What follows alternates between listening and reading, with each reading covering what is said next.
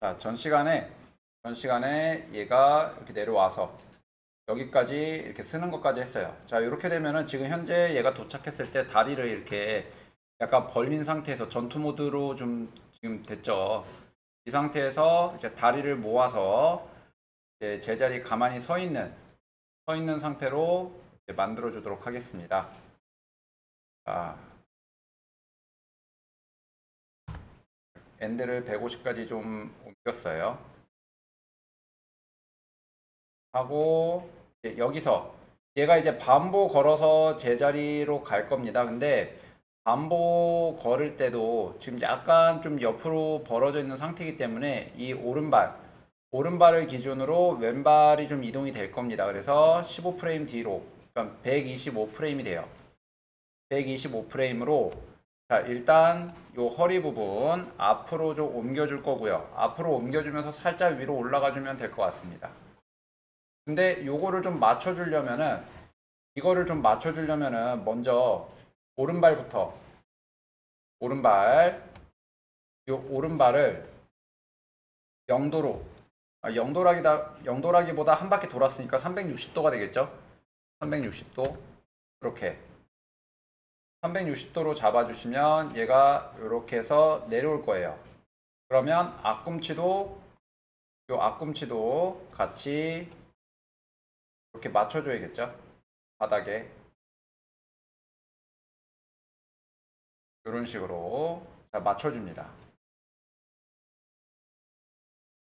125프레임에 그리고 나서 요거 다리를 기준으로 해서 허리를 앞으로 이동을 시키는 거예요. 다리를 살짝만 구부려주는 상태로 가면 되겠죠. 이렇게.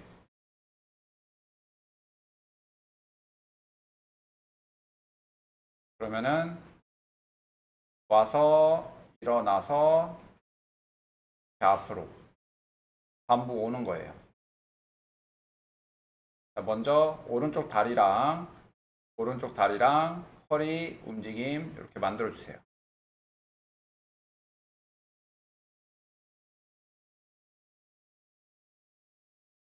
그리고 나서 이제 왼쪽 발도 앞으로 이동해 주는 거죠. 왼쪽 발도 자, 로테이션 360도로 잡아주시고 뭐 360도라기보다는 앞으로 살짝 드는 게 좋을 것 같습니다. 한 355도 정도? 355도 정도 잡아주는데 일단 여기 바닥에 붙어 있는 요 타이밍이 좀 있어야 되니까 여기 지금 오른쪽 다리 같은 경우는 아 여기 110에서 요 부분이겠네요. 바로 앞으로 좀 이동을 시켜주면 될 것 같습니다. 자 여기 왼쪽 다리를 125프레임에 앞으로 좀 옮겨주시고 좀 옮겨주시고 로테이션은 360도 360도로 이렇게 잡아주는 거죠. 지금 여기 반대 방향에서 봤을 때는 이렇게 되는 겁니다. 그리고 앞꿈치 앞꿈치도 바닥에 이렇게 붙여주세요.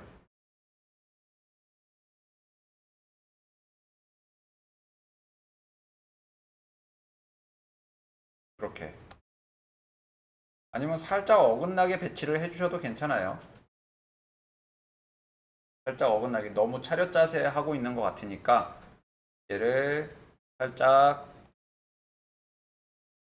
어긋나게 어긋나게 놓으셔도 되겠죠.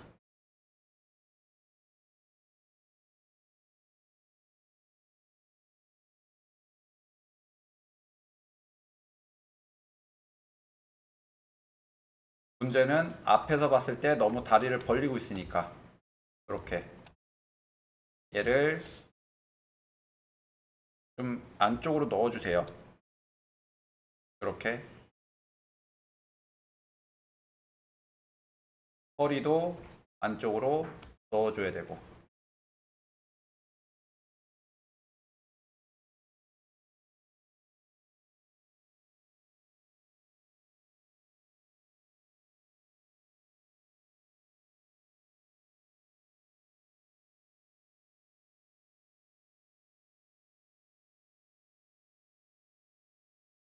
허리가 움직였으니까 그 모양에 맞춰서 손도 움직여 주시는 거예요.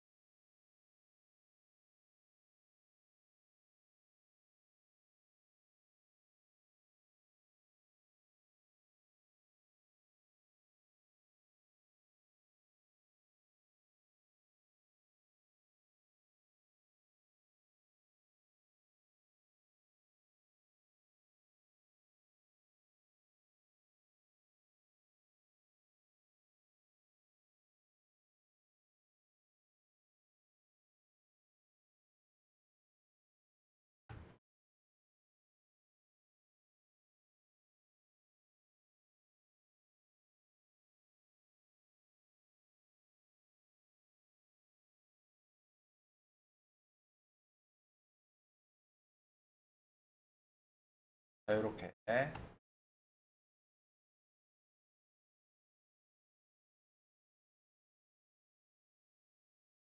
그래서 이렇게까지 이제 모양이 다 되셨으면 자, 중간 모션들을 더 잡아주는 거예요.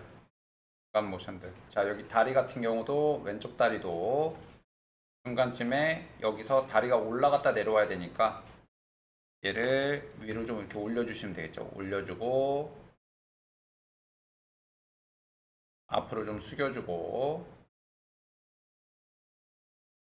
그 다음에 얘는 요거 앞꿈치 앞꿈치는 또 앞으로 와줘야 되니까 얘 맨 뒤에 있는 키프레임만 여기 앞으로 좀 옮겨주시면 되겠습니다. 이렇게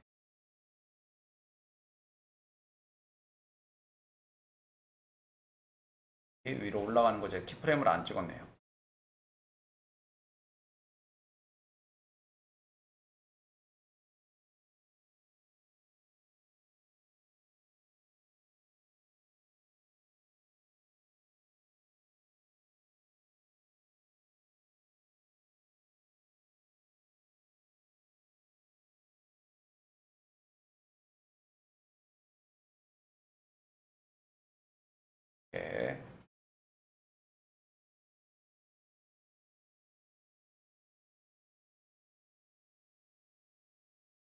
얘가 올라갔다가 내려오는 거죠.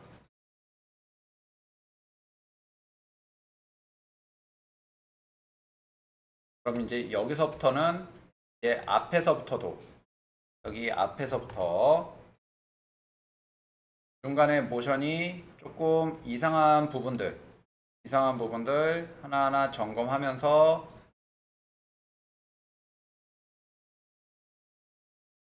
중간에 이상하게 되어져 있는 부분이 있는지 어디 꼬이는 부분이 있는지 체크해 주시고요.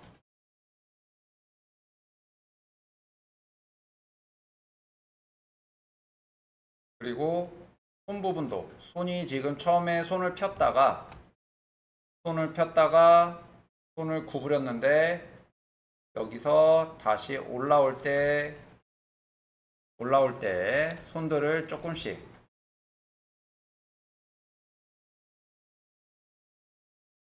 펴줘도 괜찮을 것 같아요. 여기서 어, 얘도 일단 팔이 좀 쭉 펴지네요.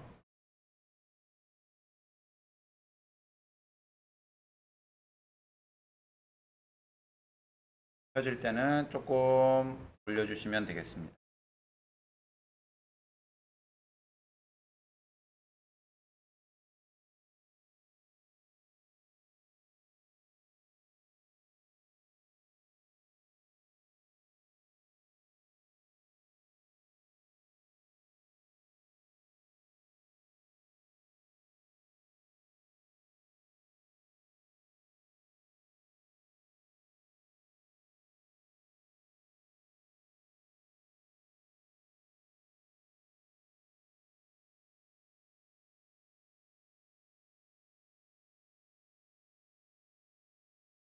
손가락들은 이제 여러분들이 놓고 싶은 데다가 좀 지정을 해주시면 되겠어요.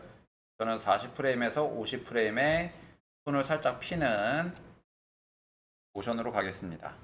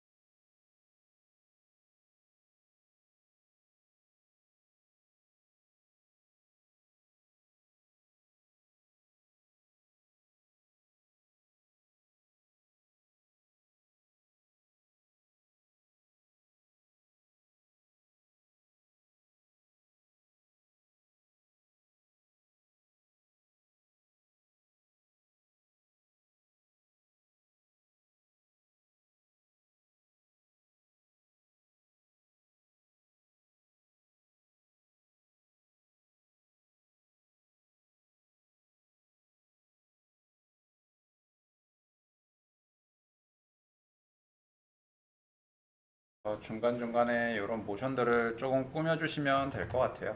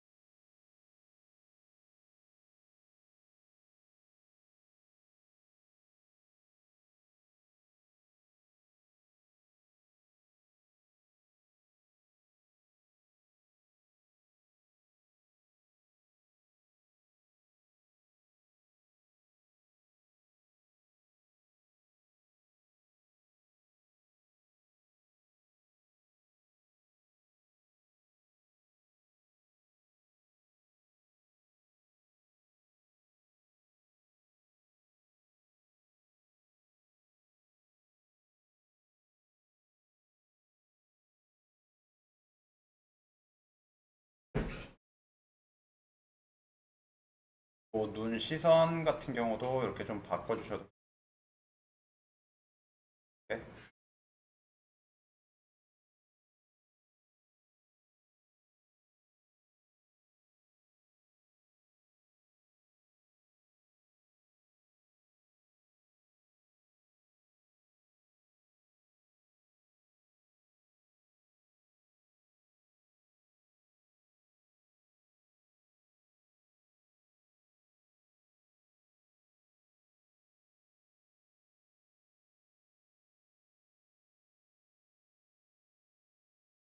그래서 지금 중간 모션 부분들 조금 정리해서 여기 바닥까지 좀 깔아놓고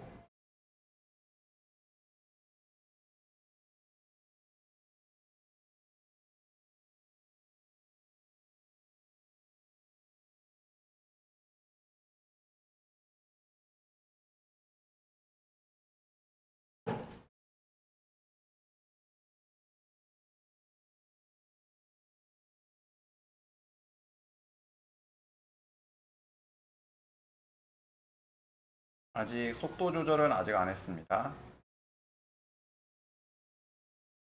이렇게 중간 부분들 모션 이렇게 다듬어서 정리해 주시고요.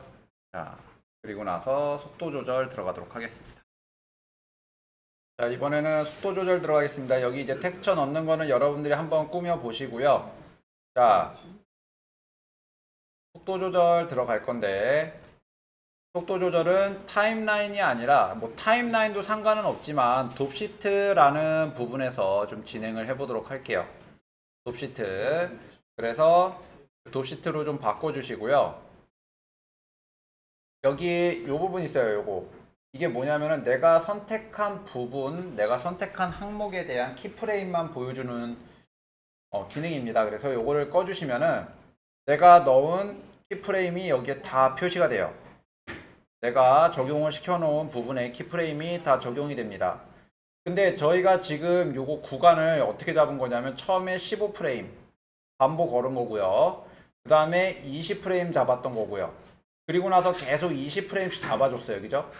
계속 20프레임씩 잡아주고 뒷부분에서 뒷부분에서 자, 5프레임, 10프레임, 15프레임 잡는 겁니다. 이 구간을 이제 조절을 해주시면 돼요. 이 구간. 그래서 여기 이제 요 summary 요거는 좀 꺼주시고 summary를 잠깐 닫아주시고 있으면 좀 많이 헷갈리니까 자 처음에 플레이가 가는데 여기서 뭐 반복 걷는 거는 시작하는 부분이니까 상관은 없는데 여기 20프레임 뛰고 발 올리는 요 과정에서 굉장히 좀 느려요. 그래서 요 구간 55프레임까지죠. 35에서 55프레임까지입니다. 이거를 여기 키프레임을 이렇게 선택을 해주세요. 이렇게 이 구간을 35프레임에서 55프레임까지의 키프레임을 이렇게 선택을 해줍니다. 이 구간만. 그 다음에 indicator 요거 요 파란색 요 indicator는 35프레임에다 갖다 놓고요. 이게 뭐냐면 여기서 속도 조절을 하는데 scale tool로 진행을 할 겁니다. scale tool로 진행을 할 건데 scale의 기준점은 크기 조절의 기준점은 30 요거 요거 35 프레임에 있는 요 indicator 얘가 기준이 되는 거예요. 그래서 이 상태에서 S를 누르고 S를 누르고 줄여 주시면은 여기 keyframe이 줄어듭니다. 간격이 비슷하게.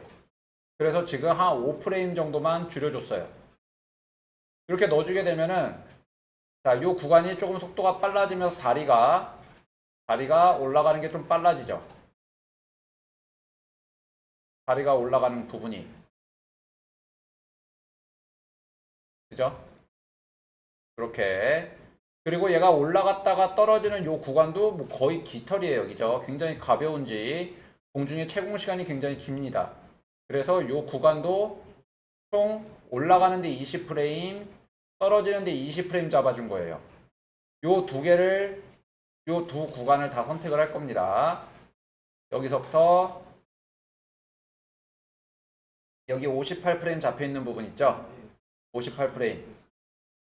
아니면은 얘를 여기 53프레임까지 이동을 시킨 다음에 뒷부분에 있는 애들을 53프레임까지 이동을 시켜주시고 여기서 50프레임부터 20프레임, 70프레임, 그리고 90프레임 여기까지입니다.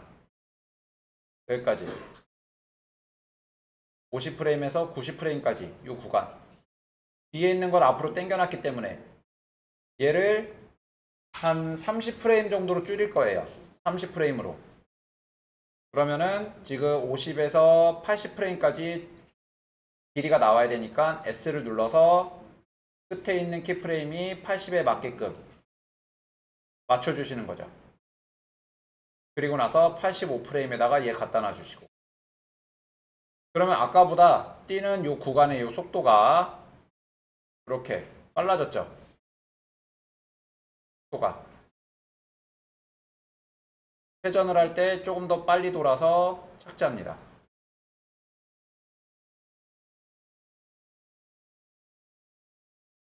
속도 조절을 해주는 거는요.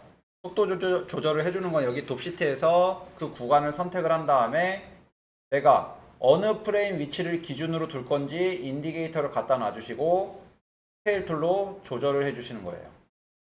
이렇게. 그러면은 그 구간이 속도가 빨라지거나 느려지거나 진행을 해주실 수가 있습니다.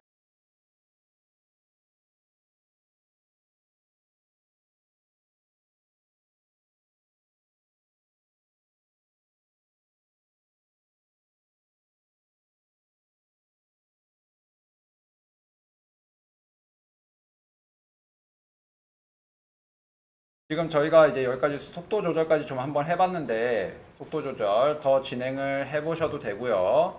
자, 근데 지금 보다 보면은 막 바지로 살이 뚫고 나옵니다. 그죠? 바지로 살이 뚫고 나오는 부분들이 있어요. 그 부분들을 이제 안 보이게 해주는 방법이 자 보겠습니다. 여기 뼈를 선택을 해서 여기 보면은 저희가 어, 자, 몸을 선택을 합니다. 몸을. 아, 뼈를 먼저 선택을 해주세요. 뼈. 뼈를 선택을 하고, 뼈를 선택하고, 여기 아마추어에 보면은, 아마추어에 보면은, 여기 포지, pose position하고, rest position이 있어요. 두 개.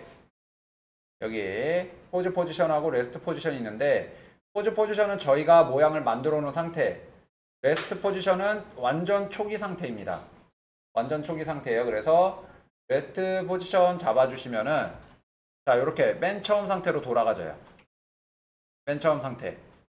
그리고 이 상태에서 자 요거 몸 body 부분을 선택을 한 다음에 body 부분을 선택을 한 다음에 slash 한번 눌러줍니다. slash를 눌러주면 저희가 맨 처음 모델링을 한 상태로 이렇게 돌아가 되죠. 이렇게. 자, 그 다음에 지금 여기 바지 위치가, 바지 위치가 요 부분이에요. 지금 저희 요 3D 커서 있는 위치. 그죠? 3D 커서 있는 위치보다 요만큼입니다. 그래서 여기부터 밑에를 가려줄 거예요. 가려줄 거라서 자, slash를 눌러서 들어간 다음에 edit mode edit mode 그리고 여기 점을 선택을 해줄 겁니다. X-ray로 점을 선택을 해줄 거예요. 여기서부터 여기 허리 부분은 놔두고 자, 밑에 Shift 키 눌러서 추가로 쭉쭉 아랫부분을 다 선택해 줍니다. 이렇게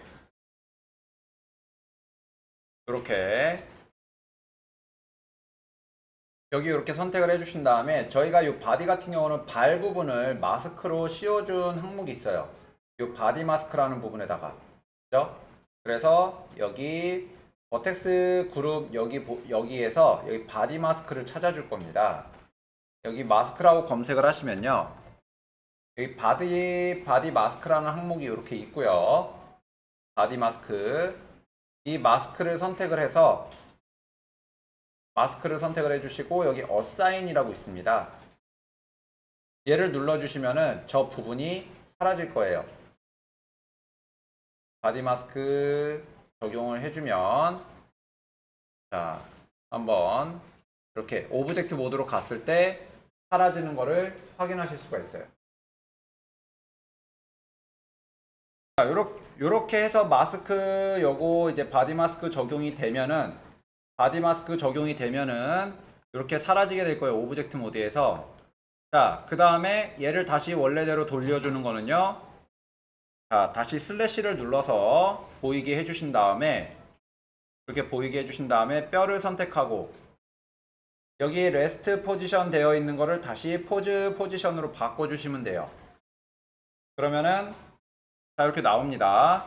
자 다시 한번 봤을 때 다시 한번 여기 텍스처 들어간 상태로 봤을 때요 바지에 바지 바깥으로 바지 바깥으로 자 살이 튀어나오는지 안 튀어나오는지 확인하시면 돼요. 자 튀어나오는 부분이 없어졌죠.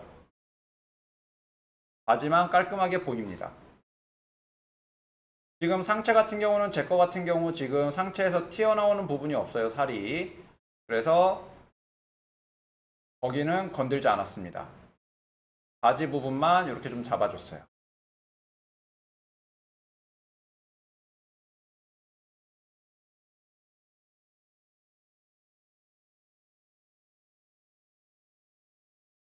아까 전에는 막 엉덩이 부분에서도 튀어나오고 무릎에서도 튀어나오고 그랬는데 지금은 깔끔하죠.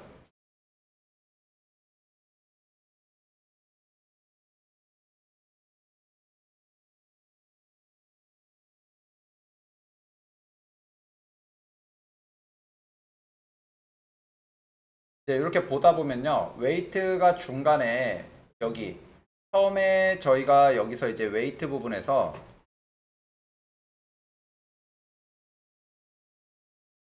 여기 weight 부분에서 다리를 벌릴 때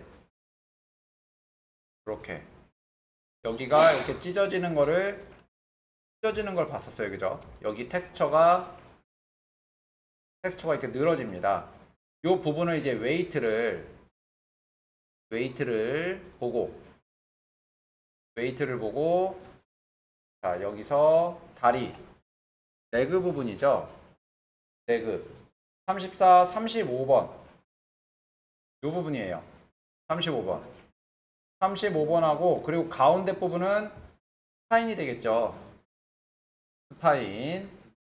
요 spine. 요 부분하고 여기하고 다리 그 뼈하고 왔다 갔다 하면서 여기를 이제 또 부드럽게 풀어주시면 돼요. 여기 지금 wire frame이 안 보여서 wire frame 켜주고 진행을 하면 점이 보이니까 여기서 blur로 이렇게 좀 눌러주시면 어느 정도 해결이 될 겁니다. 지금 tool 속성이 전체 잡혀 있으니까 사이즈 좀 키워서 여기를 눌러줄게요. 늘어나는 부분. 그리고 자 다리. 레그. 자 34번하고 34번 뭐 그렇게 많이 들어가져 있지는 않네요. 그죠 34번 그렇게 많이 들어가져 있지 않으니까 35번. 여기 스무스로 좀 이렇게 잡아주시면 되겠습니다.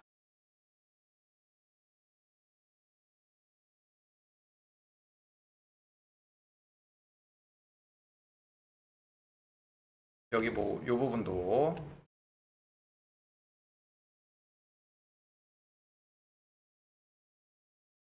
이 스파인 부분 또 선택해서.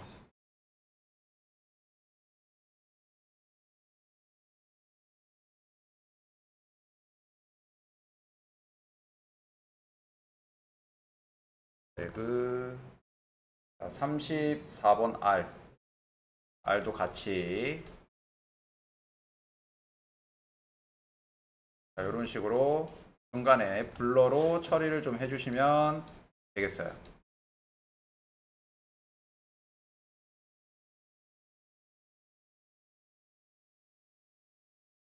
5번 L.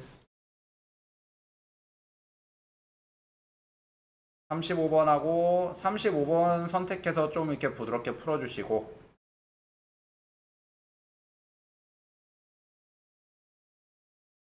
35번 R도.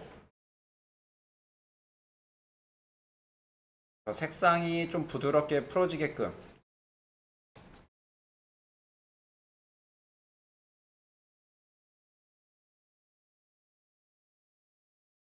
그래서 텍스처가 좀 많이 늘어나지 않게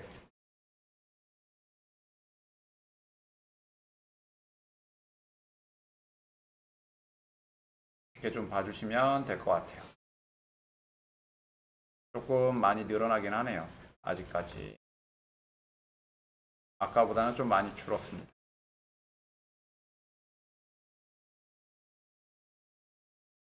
그래서 웨이트도 좀 잡아주시고 자 여기 옷 부분도 있는데 막 옷 부분도 막 속살이 삐져나오고 막 그런 요소들이 있을 수도 있어요. 그럴 때는 뭐 스컬핑으로 조금 더 무마시켜 주셔도 괜찮을 거고요. 만약에 어 여기가 이렇게 살이 보인다. 살이 보인다 라고 했을 때는 자 여기 눌러서 옷을 좀 더 튀어나오게 약간 모델링 자체를 수정을 시켜줘도 괜찮습니다.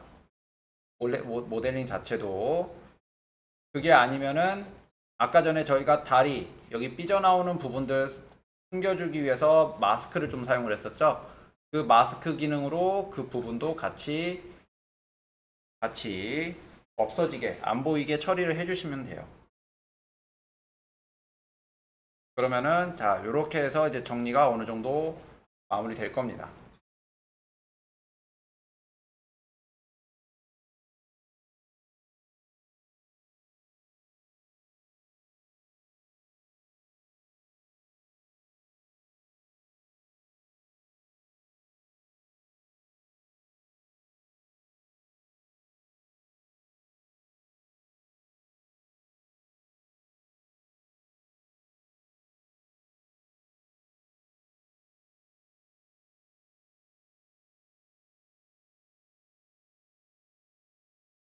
그럼 이제 색깔까지 이렇게 좀 넣어주시면 배경 부분 여기 뭐 이렇게 지금 나무 토막 집어넣고 잔디 좀 깔아놨고요. 그 다음에 자 이렇게 HDRI라는 부분이 좀 들어가져 있습니다.